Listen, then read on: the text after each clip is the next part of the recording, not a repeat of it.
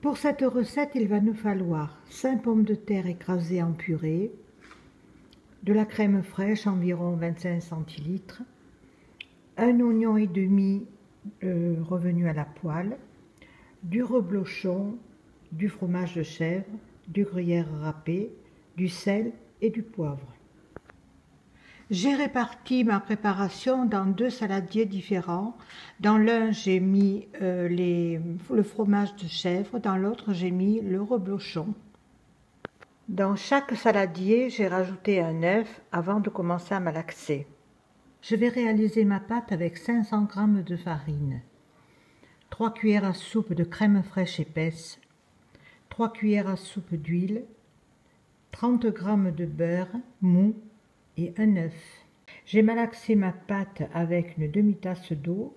Je l'ai mise sous un plastique et je vais la faire reposer 30 minutes dans mon réfrigérateur.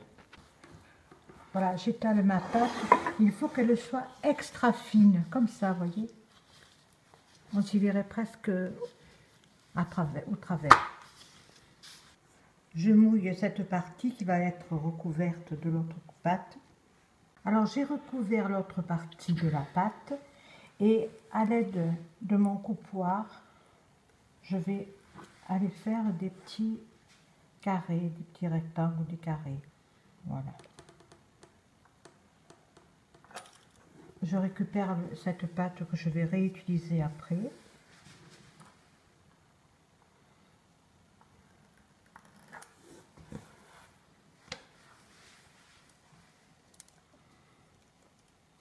J'avais mouillé l'autre côté justement pour faire adhérer la pâte.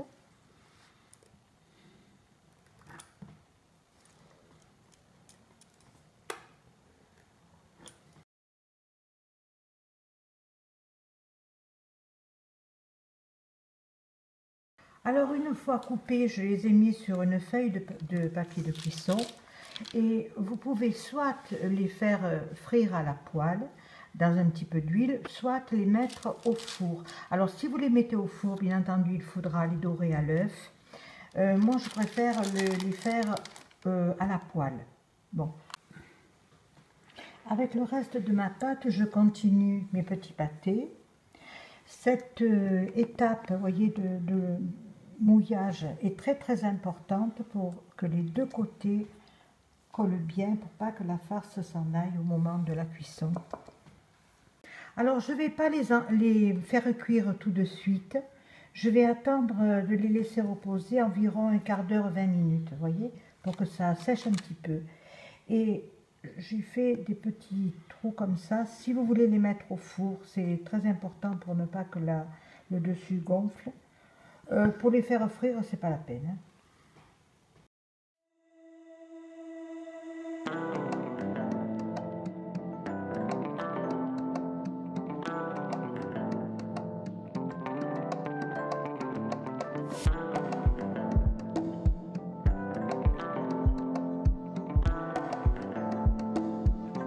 Mes tourtons sont frits. Voici ce que ça donne. Là, c'est au fromage de chèvre. Euh, avec les ingrédients que je vous ai donnés, vous pouvez faire une soixantaine de tourtons. Voilà, bon appétit